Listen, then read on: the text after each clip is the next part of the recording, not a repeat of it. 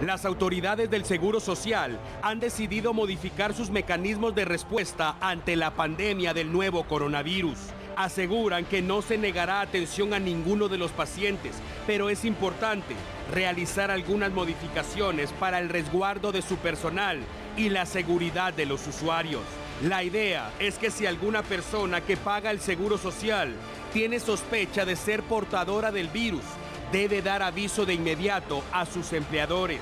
Estos a su vez, a través del Departamento de Recursos Humanos, deberán contactar al Seguro Social. Existen dos formas de hacerlo.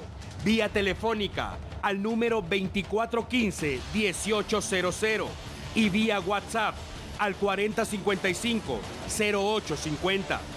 Al recibir las indicaciones y haberlas cumplido, el Seguro Social desplegará a su equipo de respuesta inmediata a la empresa que solicite el servicio.